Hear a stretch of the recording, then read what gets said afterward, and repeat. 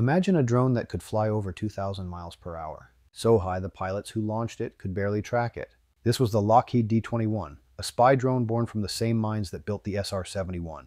In the early 1960s, Lockheed Skunk Works set out to create a reconnaissance craft faster and fly higher than anything before. It was unmanned, unstoppable, and designed for one-way missions deep into enemy airspace. The D-21 carried a single high-resolution camera, captured its images, dropped the film capsule for recovery, and then self-destructed.